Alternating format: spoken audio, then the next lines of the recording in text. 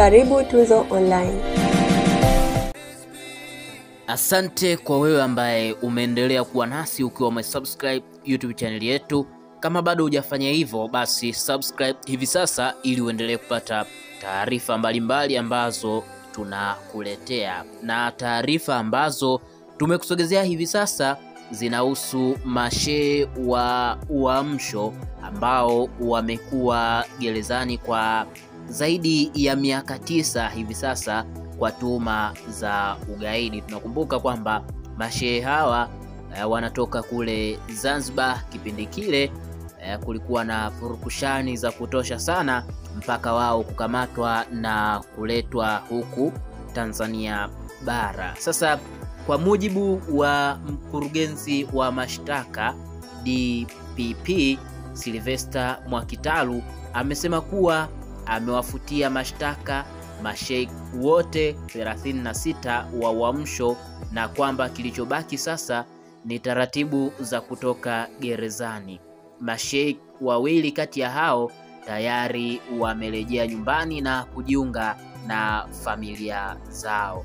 Masheikh ambao wameachiwa, mmojawapo ni Sheikh Falik Ahmed ambaye kwenye hii picha eh, ni huyu ambaye unamuona akiwa nyumbani Zanzibar mara baada ya kuachiwa huru huyu wa pili kutoka kushoto.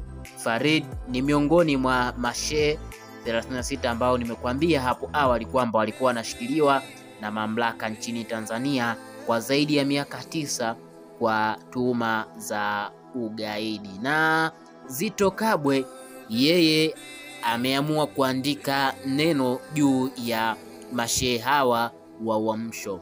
Ameandika hivi nikimnukuu: nimepokea ujumbe huu, Sheikh Mselem na Sheikh Farid wako nyumbani Zanzibar.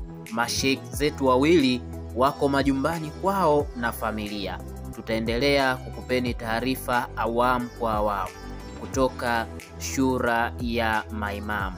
Nimewashauri Shura wahakikishe kuwa taratibu za kisheria zinafuatwa na ukipitia katika ukurasa wao shula ya Maimam TZ wameposti picha eh, ya mashehe hawa wawili na kuandika Sheikh Mselem Ali na Sheikh Falid hadi wameachiwa jana tarehe 15 mwezi wa sita mwaka 2021 saa tatu usiku na kupelekwa Zanzibar.